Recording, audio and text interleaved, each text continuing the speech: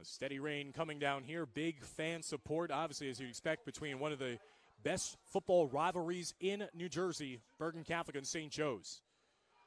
Interior pressure for the Green Knights. Boel will set and fire to the far side. Has a man in Devera. Gets past the first defender and threw another one into St. Joe's territory for a Bergen Catholic first.